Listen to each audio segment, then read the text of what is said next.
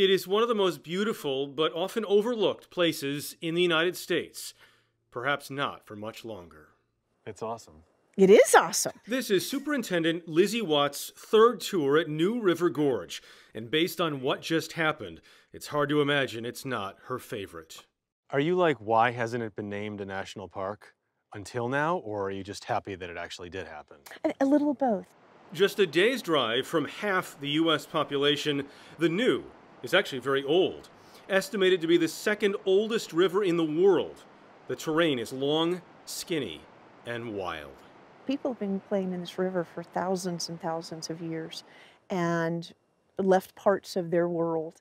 First explored and settled by Native Americans, then fought over in the Civil War, the New and its surrounding gorge have become a recreation destination. But rewind a hundred years, and things looked a lot different. The rumor is there were 13 different honky tonks and bordellos and in the red light district. It looked like the, a little Vegas. it was a little Vegas. It was a little Vegas. People come from all around to, to come to Thurmond. And now they come for entertainment, just a different kind. A different kind of entertainment, we hope, yes. Jerry Cook runs Ace Adventure Resort and is the man responsible, perhaps more than anyone else, for shepherding the gorge's transformation from mining hub to an oasis for outdoor activities. At one point, this was coal central. Yeah, more coal came through here in the 1910s and 20s than the whole line combined, from Richmond to Chicago. Downtown Thurmond today is population five. It's the smallest town in West Virginia. It has, has its own mayor. It's essentially a ghost town. Yes. Ghost coal towns like Thurmond once fueled the Industrial Revolution. The trains still run through, but the mining does not. In its place, some of the best rafting runs in the world. What is it about this river? It like gets in your veins. And it's a place that doesn't depend on snowpack, so you're getting a long season here. Yeah, we get a really long season. Like we'll start in March and we'll go through the end of October, um, even trips in in November sometimes, because it's really just kind of rainwater dependent. Bryant Baker is a guide with ACE, who's been taking people down the new for 19 seasons. I was told they wouldn't do this story unless I offered to be abused on the water. That, Not abused.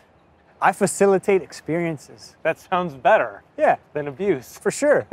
but we're talking about class four and five or no? Sure. That's a lot. It's legit. It's good stuff. Okay, good. So we're heading where? Down to the New River.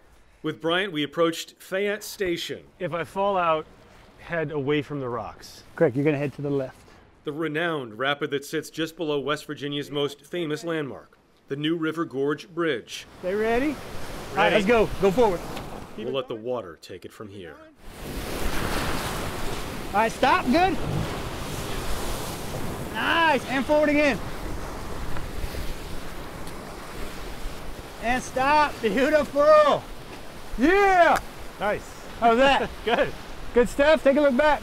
There are in total 53 miles of undammed whitewater along the New to go along with climbing, biking, and even one day a year, base jumping, the only national park where you can legally do that.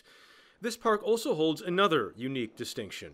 This is now the only park, national park, in the lower 48 with a dual designation that allows hunting. Why? Because it's a traditional use. The Southern Appalachians are a very unique culture and these mountains are very unique, but people have been hunting here forever. So when they were trying to figure out what we really should be when we grew up, allowing people to can keep those traditional uses and hunting's one of them was really important. Are you worried that the increased attention is going to bring too many visitors and too many new issues to the park?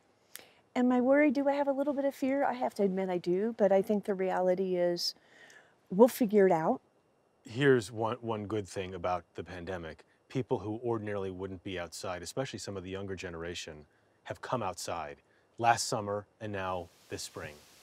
COVID has nothing good to say, but what it has done is it's taught a whole new generation to come play in the outdoors, you know, to feel the water, to go on a rafting trip, to take a hike, just to sit by the river. We've seen that. That's a great change. And they'll always keep playing in the outdoors. I believe that now. Did you see me dominate the river earlier? You know what, Jeff? That- I, would have been more impressed if I had seen you climb that rock face. I've done that for too, but I'll do it again. Lizzie Watts, thank you very much. I mean, she is she is tremendous. And is it bad if, that I still get goosebumps hearing "Take Me Home, Country Roads"? No. I've heard it six thousand times It's in my beautiful. life. It is. every The time. scenery there is beautiful. Mm-hmm. Those rapids looked amazing. I'm jealous. I've never done that. I would love to do that. Just It's great. worth it. Again, ha- a, a day's drive from half the U.S. population. Amazing stuff.